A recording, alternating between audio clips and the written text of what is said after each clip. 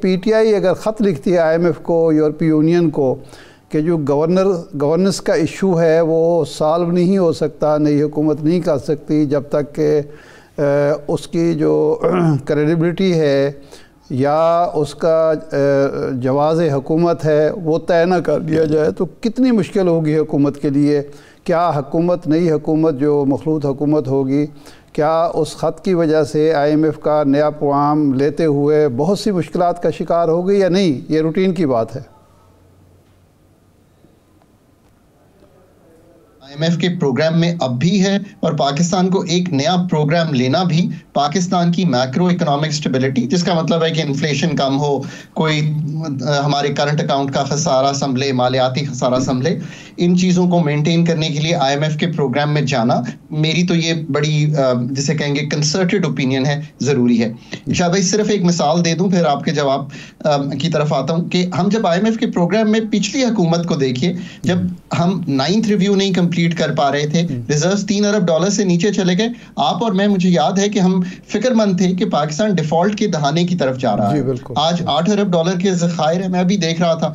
और अभी payments due हैं। अप्रैल में एक बिलियन डॉलर देना है हमने। चार पाँच बिलियन डॉलर और जमा करना है। आईएमएफ की अम्ब्रेला रखना एक स्टेबिलिटी को इंश्योर करता है और आपके पार्टनर्स शायद साहब, ये सबसे ज़्यादा ज़रूरी, जिसमें आपके कलीदी दोस्त शामिल हैं। मैं किसी मल्टीलैटरल्स की बात तो करूँगा ही बट आपके कलीदी दोस्त, चाइना यूएई सऊदी अरेबिया उन तीनों ने भी यही कहा कि आप फंड के प्रोग्राम में रहें। ये तो बात आया है। अब जब मैं इकोनॉमी का जायजा लेता हूँ तो तब भी पाकिस्तान का मालियाती खसारा। इस साल सिर्फ़ जो फेडरल गवर्नमेंट है, वो साढ़े आठ हज़ार अरब का खसारा करेगी। फेडरल फ़िज़िकल डेफिसिट तीस अरब डॉलर का खसारा करेगा। These are serious challenges right पच्चीस फ़ीसद इन्फ्लेशन अब है पच्चीस फ़ीसद पिछले साल थी। अब आप बता दीजिए कि क्यूमुलेटिवली अगर 50 फ़ीसद ही ये चीज़ें बढ़ जाएँ किसी की पॉकेट पे कितना भारी पड़ रहा होगा? एनर्जी का क्राइसिस अलहदा है देखिए मेरा ये कंसर्टेड uh, ओपिनियन है कि सब मच्योर लोग हैं।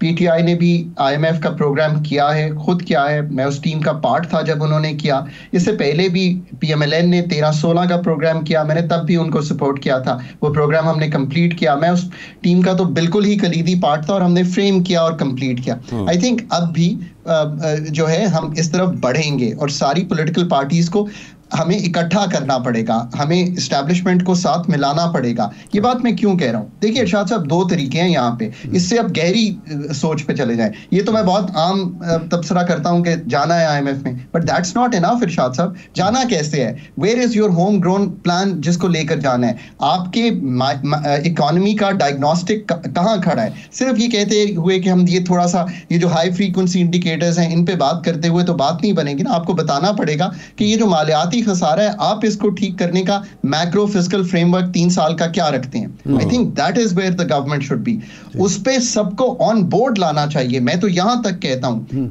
Everyone should first be comfortable कि हम आईएमएफ से गुफ्तगु करने क्या जा रहे हैं। Hmm. क्योंकि ये तो मुल्क का मसला है। ये मेरा आपका पीटीआई या एस्टैब्लिशमेंट का मसला नहीं है। डॉक्टर साहब सवाल ये है। अब देखिए बुनियादी तौर पे तो जो पॉलिटिकल अनसर्टेनिटी है that leads to economic uncertainty अब प्रॉब्लम ये है कि पीटीआई जो क्लेम करती है उनका ये कहना है कि हमारा जो मैंडेट है वो हमें नहीं दिया जा रहा। और इसकी बेस पे वो हर हद तक जाने को तैयार हैं। अल्टीमेट नुकसान तो मुल्क का है किसी को पॉलिटिकल माइलेज मिल जाएगी किसी को पॉलिटिकली नुकसान हो जाएगा। बट ये जो अप्रोच है अगर पीटीआई जाती है वो ख़त लिखते हैं इसका असर क्या होगा? आईएमएफ का लैंडिंग एजेंसीज का तर्ज अमल क्या होगा? बुनियादी सवाल ये है कि क्या वो इसको सीरियस लेंगे या बस ये रूटीन की समझेंगे एक साइड पर रख देंगे हाथ को? देखिए मैं एक बात तो कहूँगा कि आईएमएफ जब भी पाकिस्तान आती है क्योंकि मैं उनके साथ ऑपरेट करता था पाकिस्तान में तो वो सबको मिलते हैं। और इसमें अपोजिशन भी शामिल है और इसमें सेनेट के अरकान भी शामिल हैं इसमें नेशनल असम्बली के अरकान भी शामिल हैं। पहले हम सारा टेक्निकल काम पॉलिसी वर्क करते हैं बट वो सबसे मिलते हैं। ताकि वो सबको बता सकें कि ये प्रोग्राम पाकिस्तान की बका के लिए है।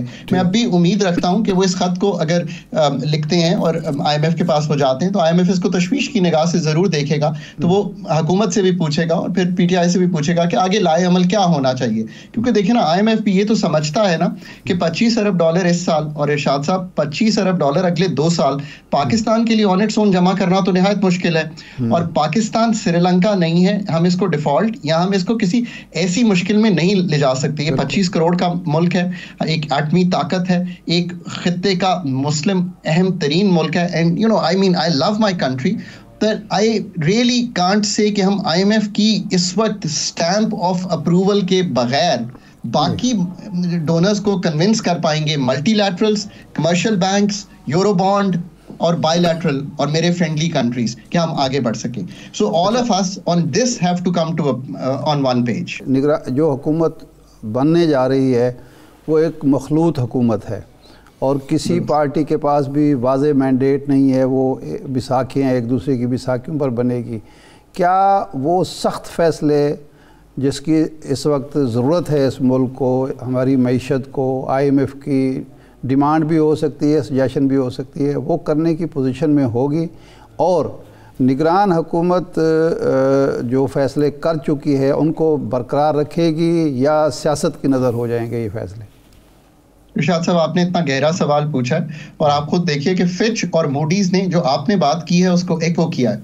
उन्होंने कहा है कि क्या आने वाली मखलूत हुकूमत वो फैसले वो रिफॉर्म वो असलाहत वो स्ट्रक्चरल चेंजेस कर सकती है। जो। कि इस वक्त रिक्वायर्ड हैं और उन्होंने एक कंसर्न का इजहार किया। देखिए मैं समझता हूँ कि एक बात तो अया हो गई है। सब समझते हैं they are all mature people मैंने सबके साथ काम किया है। तीनों पोलिटिकल पार्टीज़ जो है, बहुत मच्योर लोग हैं। वो ये समझते हैं इस बात को कि आईएमएफ के बगैर मुल्क को चलाया नहीं जा सकता। मेरे ख्याल है एस्टेब्लिशमेंट भी इसको बखूबी समझ गई है। जब मैं एस्टेब्लिशमेंट कहता हूँ तो मेरा मतलब दोनों सिविल एंड मिलिट्री ब्यूरोक्रेसी से एस आई एफ़ सी एक अम्ब्रेला फ्राहम कर सकता है कि इन डिसीज़न को आगे ले जाया जाए, पर इससे ज़्यादा ज़रूरी अब ये हो गया है और आज की डेवलपमेंट के बाद कि इस वक्त आने वाली गवर्नमेंट जो है, इस आई एम एफ़ के प्रोग्राम को थोड़ा सा, जिसे कहेंगे रिंग फेंस कर दे और इसको कोऑर्डिनेट होने दें बगैर किसी पॉलिटिकल इंटरफेरेंस um, के और फिर जो सब लोग हैं उनका पहले बाय इन करा लें और एक तरीका आउट ऑफ़ दिस ये है कि आप जो जो बहुत मुश्किल फैसले हैं प्राइसिंग um, के हद तक और जो वो आप पहले एक साल में ले लें ताकि जो मुश्किल फैसले हैं उनका बोझ जो है वो आपसे निकल जाए।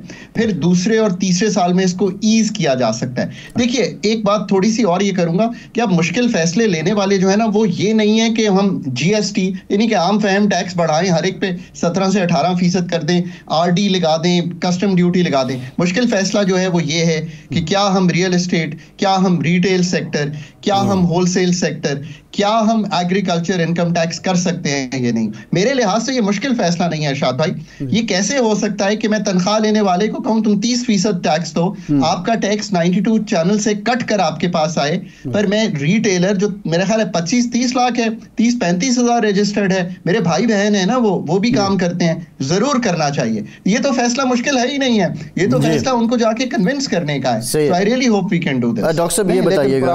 एक सेकंड प्रॉब्लम यह है कि मुस्लिम लीग नून तो मार्केट इकोनॉमी के हवाले से बड़ी क्लियर है। पीपल्स पार्टी इस हवाले से उसकी अपनी रेज़र्वेशन है, अपनी पॉलिसी रही है। अब ये दोनों जो हैं एक दूसरे पर डिपेंडेंट हैं। क्या People's Party Muslim League Noon को ये काम करने देगी? और वो जो माजी में हुआ कि प्राइवेटाइजेशन का इशू आया तो रजा रजबानी साहब खड़े हो जाते थे कुछ और लोग हो जाते थे। ये सबसे बड़ा मसला जो इस वक्त हमें है वो तो प्राइवेटाइजेशन का है। वो हो पाएगा आसानी से। और निगरान हुकूमत निगरान हुकूमत तकरीबन आठ नौ माह में कोई एक इदारा क्यों प्राइवेटाइज नहीं कर सकी? इस पे मेरी राय बड़ी क्लियर है और थोड़ी मुख्तलिफ़ है बाकी लोगों से। मेरी राय ये है कि पहले प्राइवेटाइजेशन कमीशन को एक बहुत ही स्टेट ऑफ़ द आर्ट अदारा बनाइए। हमने प्राइवेटाइजेशन कमीशन में डिवीज़न को अलहदा किया हुआ है कमीशन को अलहदा किया हुआ है। Commission hmm. का पहले तो आप चेयरपर्सन लाइए जो उसको हेड करे ताकि वो तकनीकी काम फाइनेंशियल काम एचआर का काम हर इदारे में बड़ा क्लियरली कर सके और वो भी होम ग्रोन हो होम डिफाइंड हो।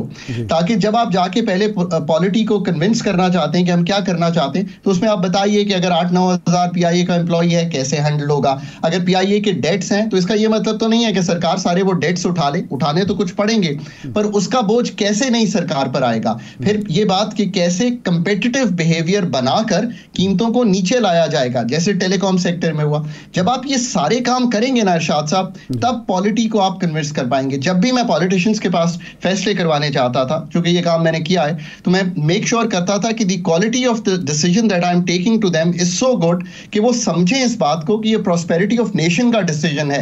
ये पाकिस्तान के जो हम इस वक्त खर्चे या नुकसान कर रहे हैं, सौ अरब रुपए का पी में हर साल, उसको कम करने का डिसीज़न है। ये पी को अपने पाँव पे खड़ा करके जो बीस चौबीस जहाज़ है, उससे बढ़ाकर पचास पचास जहाजों पर ले जाने का डिसीज़न है। इसका कतई तौर पर मतलब नहीं है कि प्राइवेटाइजेशन कोई पनेशिया नहीं है कि हम एक चीज़ बेच देंगे तो वो ठीक हो जाएगी। आपने के इलेक्ट्रिक बेची है उस पर अभी भी लोगों के बहुत खदशात है। सिर्फ़ बेचना ही बात नहीं है रेगुलेटरी फ्रेमवर्क को ठीक करना।